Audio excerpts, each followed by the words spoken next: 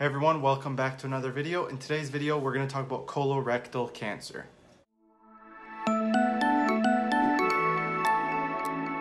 If you want to gain more information about nursing or to improve your nursing knowledge in general, please consider subscribing down below. I upload a video every single week and you don't want to miss them. I also have free resources that you can download at my website called simplefitnurse.com. So please be sure to check those out.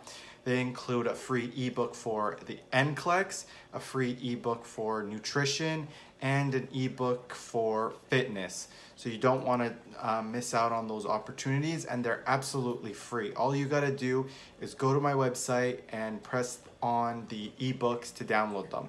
Later in this video, I'll show you how you can download them easily. Um, so let's get on with today's video.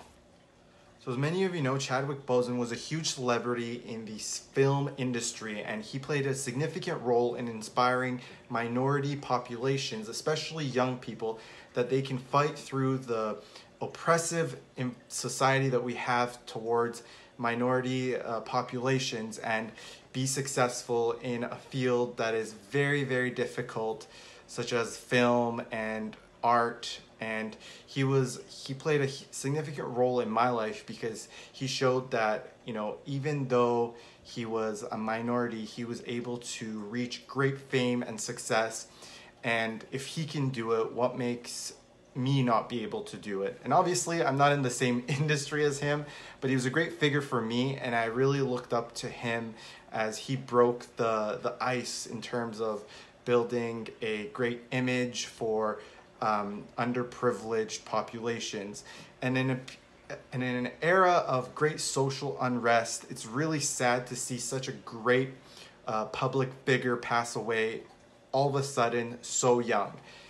And so I really want to raise awareness about colorectal cancer and and kind of share with you my experiences with it and give you more educational information that hopefully you can uh, share with your family and see if you are at risk for colorectal cancer. I also wanted to raise awareness about colorectal cancer because I have personally been affected by it as my grandfather has passed away from colorectal cancer, which makes which puts me at a risk for having colorectal cancer as one of the major uh, risk factors is genetics. So if anybody in your family has had colorectal cancer, you have a elevated risk of having it. And so I just wanted to emphasize that, you know, men in particular are more at risk of having colorectal cancer. In fact, one in six diagnoses of cancer in men is colorectal cancer. So it affects men quite significantly. So I just want you to listen very carefully and maybe share this video with a family or friend who you think might be at risk for it. So what makes colorectal cancer so deadly is the fact that the symptoms are so vague. Early stages of colorectal cancer typically have no symptoms or they have very vague symptoms. So like blood in the stool, you have na nausea, abdominal pain, stuff like that that you might typically not really immediately think colorectal cancer. So it's very important to identify, like I said, if anybody in your family has had colorectal cancer, as that puts you at a major risk factor. Now, in order for you to be screened to see if you have it, they do what's called a fecal immunochemical test. And what that does is it takes a sample. So you go to your primary care provider and you say that, you know, I have a family member who passed away from it. I've, I've been experiencing some symptoms and I would like to do a FIT test. And what they'll do is they'll give you a little uh, sample where you collect your feces in and you send it off to the lab and the lab checks to see if there are any blood in your stool. So let's say that you had a positive FIT test.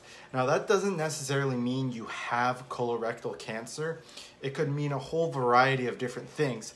But let's say that it was positive and you did have you you had a positive FIT test. What what's done next is you go into your family doctor, you speak to them, and they'll most likely have you go for a colonoscopy. A colonoscopy is basically a tube that gets stuck up your butt and obviously you'll be under anesthesia so you won't feel a thing um, but essentially it's a tube that gets stuck in your butt and that tube has a camera on it and the physician uh, usually a gastroenterologist physician sees if they can identify any polyps polyps are precancerous cells essentially and the good thing about having polyps is the fact that they can go ahead and check if your colon has any polyps and they can just snip it off at that moment in time. So, you know, screening and being aware if your family has had has um, been affected by colorectal cancer are the most important ways for you to prevent the late stages, which obviously, as we know, can be quite deadly. Also, another major risk factor is age. Anybody that's aged 50 to 74 should have a conversation with their primary care provider about being screened for colorectal cancer. Especially if you're a male, and especially, like I said, if you have a genetic predisposition for having it. So, if you're in the ages of 50 to 74, you should be looking for any of the vague symptoms you might be having, which could equal blood in the stool, you know, uh, dietary changes, you're not as hungry anymore, you have abdominal pain, you can have um, weight loss all of a sudden for no reason, vomiting, or you feel a little bit tired, or you have constant diarrhea. So those are a few facts about colorectal cancer that I thought it would be worth sharing, especially with the recent death of Chadwick Boseman which is all over the media. And I wanted to share what my experience was with uh, having a family member that passed away and things that you can do to be proactive so that you can screen to see if you do have it.